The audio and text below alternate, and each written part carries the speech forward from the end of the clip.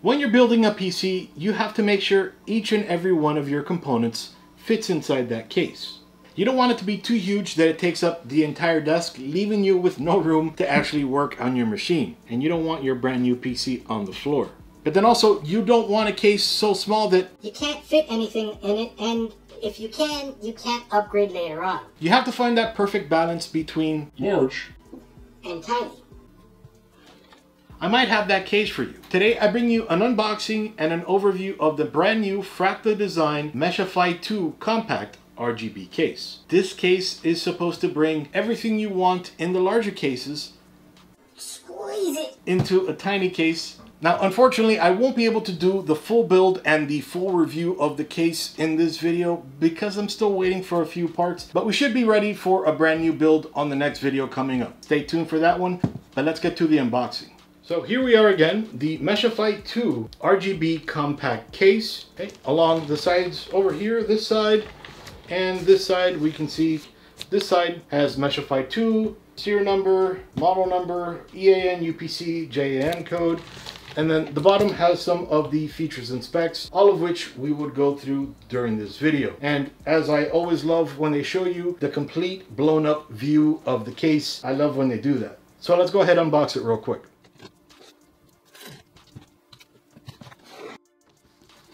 Oh, okay. So I wasn't expecting to see all this blue. Kind of threw me for a loop with my double vision and all, but still kind of nice to see. So we could see right when we opened it up, just foam along the top with their F. Nothing else, so let's go ahead and flip it over.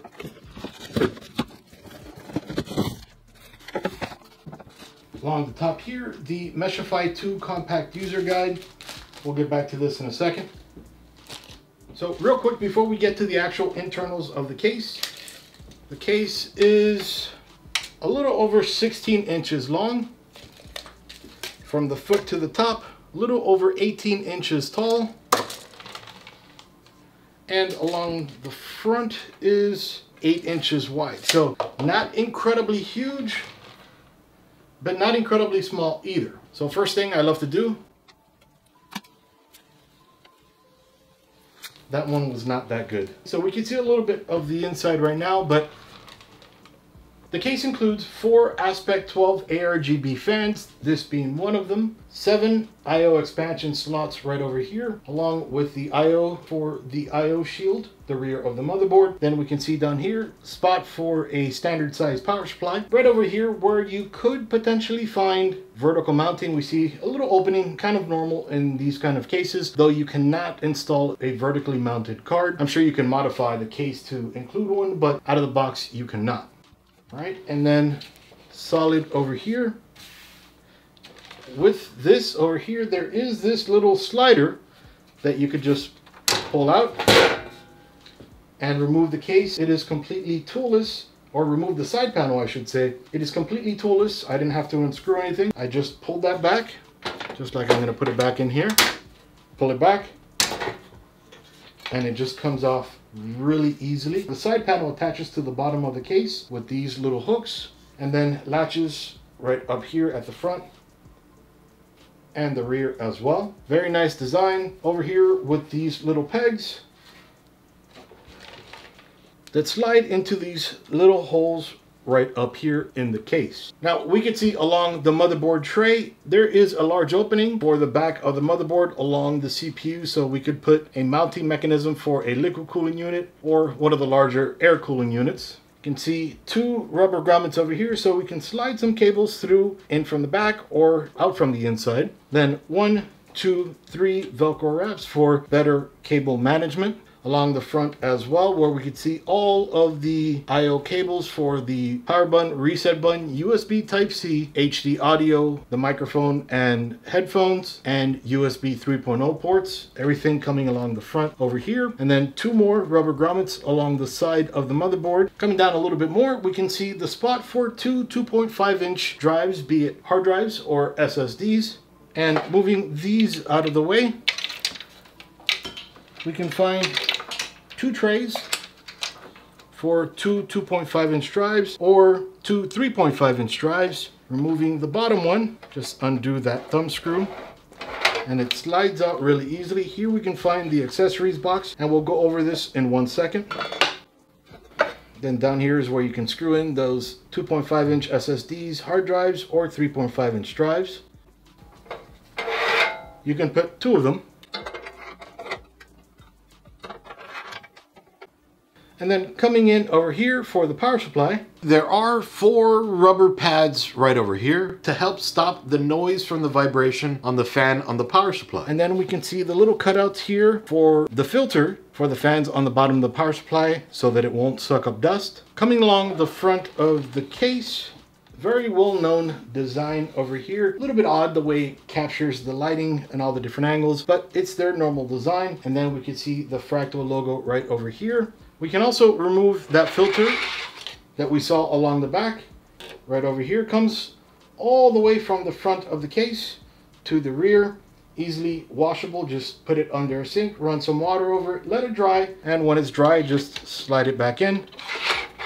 Goes in pretty easily, and like most of their cases, you might have to take this out, but you can easily remove the front panel. Removing the front panel allows you to open up the front filter. If you wanted to remove the filter, you could. That way you would just have this kind of mesh design over here without that filter. So you'll get a little more airflow inside of the case. But removing the front panel gives you access to the three 120 millimeter ARGB fans. And then also if you wanted to replace these fans with a liquid cooling unit, you could. Again, up to a 360 millimeter liquid cooling unit you could fit up here. Now coming around this side, just like we did for the opposite side, just pull the glass out and it literally falls right out. You just have to make sure you hold it and it should have that same filter over here, but this is not satisfying.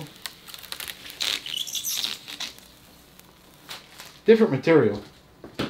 So coming along the inside of the case, we can find a hole right over here that way we can fit some cables, maybe the HD audio cable. That's the perfect spot for it. Bring it up here, typically plug it in right over here. And then also some USB ports as well, 2.0. We'll find some more rubber grommets over here. That way we can fit the front panel IO, USB ports, USB 2.0, 3.0, and other types of cables right through here. Maybe even PCIe cables. Coming over a little bit more to the right inside of the case, we can find two more rubber grommets right over here coming from the back as I showed you earlier over here and over here. This way we can fit some SATA cables, PCIe cables, and other random cables right through over here. Maybe up here ATX 24 pin. And then that filter right above the power supply. Looking a little odd, though everybody has their own taste, you are able to put those two SSD trays here or here and instead of putting it in the back you can put it up here or you can order additional trays so you can have more drives. Right down here we can remove this panel so that we could slide in a radiator up at the front. I might have to explore that possibility. Now, unlike most cases, on this case, at the very top, if you needed to, you can actually remove the top so that you can access the top of the motherboard to make it a lot easier as well to install a liquid cooling radiator right up at the top. There's also a few other things up at the top I'd like to show you. Along this top, we can easily unscrew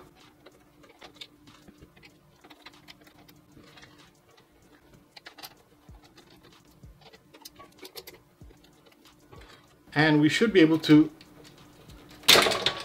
remove the top panel. Exposing the top mesh filter, we can just slide it backwards and then we can lift it out. Then we have access to where we can install the radiator. Something just fell from up here.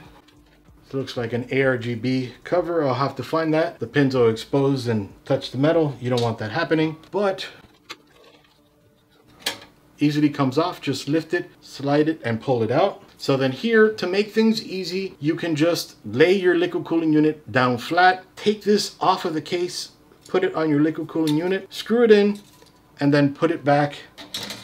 That'll save you a ton of hassle from working up here. And then it frees up so much space inside of the case unobstructed right over here except for the back and the sides but the front you're unobstructed so I love the fact that they did that. I think that's an awesome addition. The other cool thing is because of the way that they made all the cabling and everything and the front panel, you don't need to get rid of that cabling or maybe just maneuver it nicely so you don't pull everything out. This isn't connected to that other panel. So that's an awesome feature.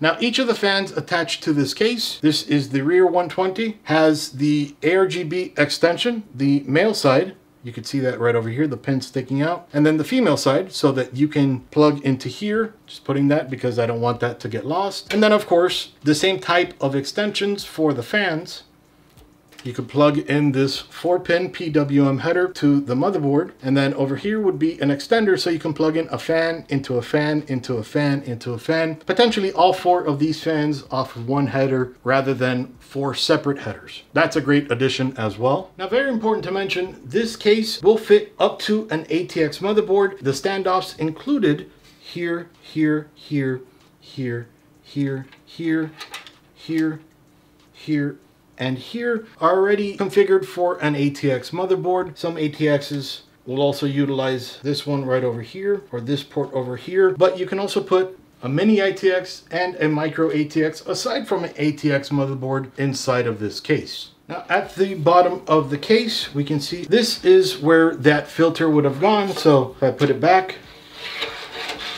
right over here. This is where the power supply would be down towards the back of the case. And then up here is where the hard drive tray would be. Then the feet also give you an inch of breathing room in between the base wherever you stand the case on plenty of space for that power supply to breathe or if you have any additional fans blowing air upwards pulling in from the bottom of the case you could do that as well and you would have that filter up here. So that'll give you plenty of clearance. Now the top of the case has a headphone jack, a microphone jack, a USB Type-C connection, a power button, an RGB button. In case you don't have RGB on your motherboard, you can still utilize RGB off of the fans, but you will have to use the predefined profiles that they have on those fans, and then two USB 3.0 ports. And then for the front panel, these are all the ports that we'll find. So first off, the USB Type-C port definitely comes in handy for newer cases. HD audio for the front panel headphones and microphone jack. Then we'll find the USB 3.0 port for a USB 3.0 header on your motherboard. And then a SATA power connector. This would be for the RGB controller on the case itself. And this you would connect to a SATA port on the power supply. Then coming from the front fans, and I have to undo this Velcro tie. PWM fan headers and extensions, and then also extension ARGB connections, and then the female side as well. Because there are three fans, there are three sets of these cables and three sets of these cables. So again, with these cables, you can plug this fan into the motherboard, into one of the PWM headers, and then another fan into here, and another fan into there, and another fan into the other one. Same goes with these connections as well. This would go connected to the motherboard. And then you connect the other fan into here and then the other fan into the other side of this and so on. That way you can connect both lighting and PWM wise for power in one port rather than three ports, one for every single fan. And then last but not least is the power switch. This will go connected into the front panel header on the motherboard for the power button. Now very important to mention, if you will be putting a radiator up in here, there can only be a 40 millimeter height max your radiator cannot be thicker than 40 millimeters. Now being that you can only put a 360, a 280, a 240, a 140, or a 120, the fan's max can be 145 millimeters in width over here. All right. So now inside of this baggie, again, the Fractal Meshify 2 Compact User's Guide. On the red document, attention, English, in the event of having received a faulty product, before returning any product, please contact a reseller or Fractal Design. Most issues can be quickly and easily solved through the support team. Most case parts are removables and are easily replaced by spare parts. So definitely good information to have just in case. And then the user's guide is going to go over everything that we're going to go over in the next video, in the build video. So you can kind of skip this. It's definitely good information to have, just in case, additional information. And again, like I love, it shows every single view blown up. But we're going to go through a complete build and I'm going to show you everything inside of this manual. So stay tuned for that coming up real soon. And then here is the Meshify 2 compact accessories box. This came in the SSD tray.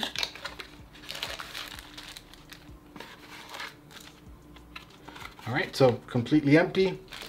They include here a nice wipe to wipe all your greasy fingerprints off of the case. Definitely a good addition here. If anything, you can use it for your screen. I love when they include these. Then the baggie with accessories, and I already spot my favorite accessory. This is the standoff screw. Now mind you, this one is plastic. Typically they come in metal, but you push this over a standoff on the motherboard like we saw earlier for the ATX form factor and then you use a Phillips head screwdriver unscrew it and then easily you can move that standoff somewhere else or just remove it from your build entirely definitely great to have then we have eight of these smaller zip ties I don't like to use these but every so often they come in handy Then here is an additional standoff in case we need one extra. All right, then over here we will find nine mounting screws for your hard drive. And then over here, four of the power supply screws. These little hex head screws four of those for your power supply. Along with the screws that I showed you earlier, the nine screws for the hard drives. These are the rubber pieces to stop vibration from the hard drives.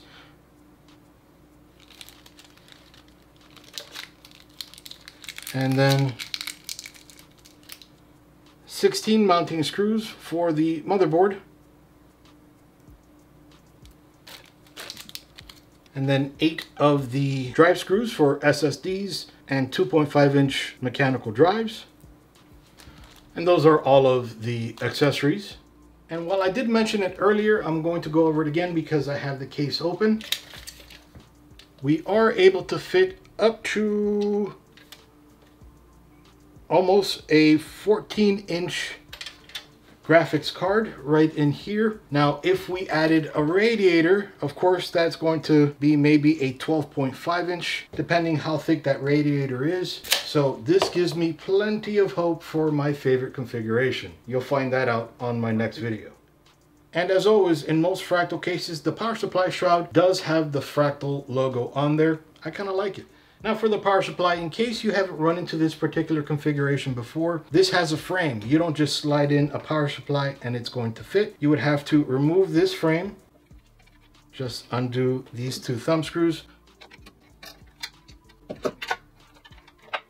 Then you would attach this to the power supply, slide the power supply in, and then screw in this frame, and you're good to go.